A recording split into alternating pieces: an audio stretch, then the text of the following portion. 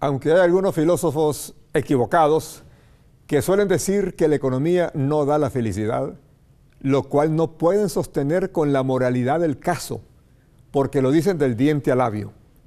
Lo cierto es que no hay estómago, ni pueblo, ni país contento con una mala economía. Y lo reconoció el gobierno de Juan Orlando Hernández ante las peticiones del sector empresarial a raíz de haberse puesto en vigencia un impuesto que desde todo punto de vista no cumplía la función retributiva, retributiva que busca cualquier tasa tributaria, sino que lejos de eso contrajo a los empresarios que se fueron a la defensiva en el momento que el nuevo impuesto del 1.5% tenía la tendencia más que recolectar ingresos para el Estado, un efecto conculcador, desde el momento en que arrasaba sin importar que las empresas ganaran o perdieran.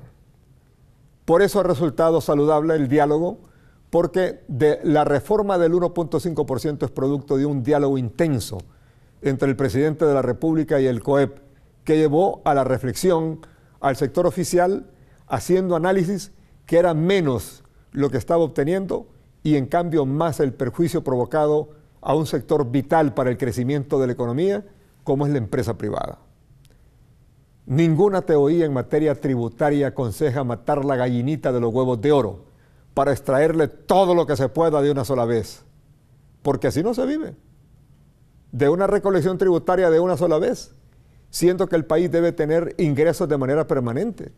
Y lo que aconsejan las reglas de la economía es que el gobierno sea el agente motivador, que está obligado a crear las mejores condiciones para que el empresario e inversionista se estimule, invierta más, para vender más y de esta manera no solo paga más impuestos, sino que crea más puestos de trabajo, es decir, más gente trabajando y devengando salarios, por lo tanto, más consumo, más ventas en los negocios y comercios.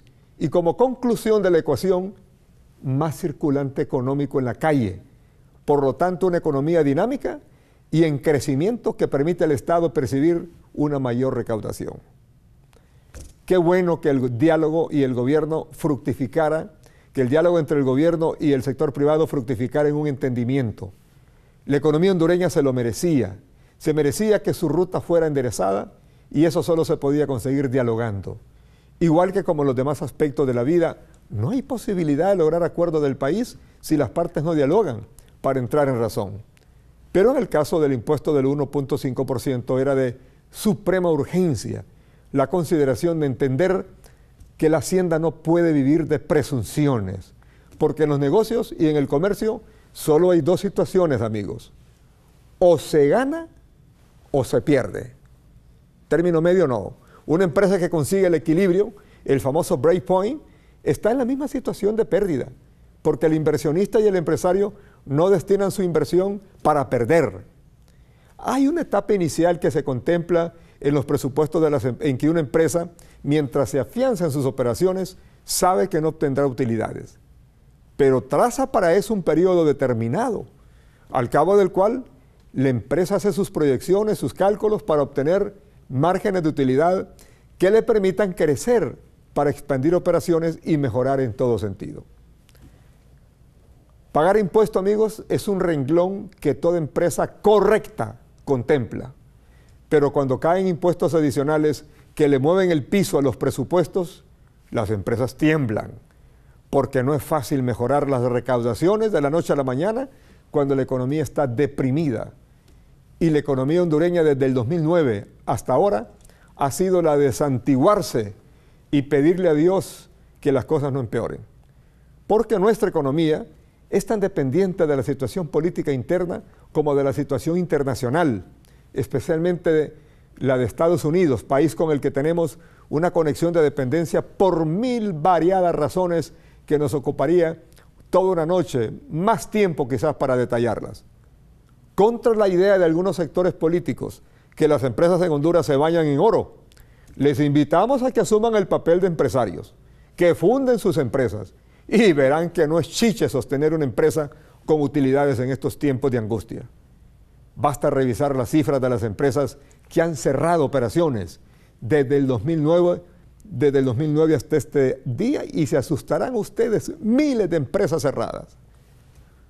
por el bien de Honduras es saludable que el gobierno haya escuchado el clamor de las, em, de las quejas del sector empresarial y reformado el cobro del mencionado impuesto.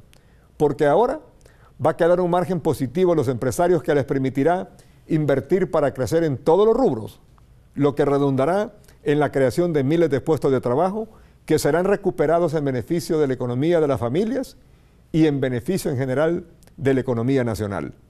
Y que esto sirva de lección para los técnicos que sugirieron crear un impuesto de tipo presuntivo, creyendo que con esta medida tributaria se le ponía un cerco a quienes son desafectos con el pago de los impuestos. Una lección en doble vía. Una es que quien emprende una empresa en estos tiempos tan complicados no está cometiendo un crimen. Todo lo contrario, asume un riesgo de grandes complicaciones.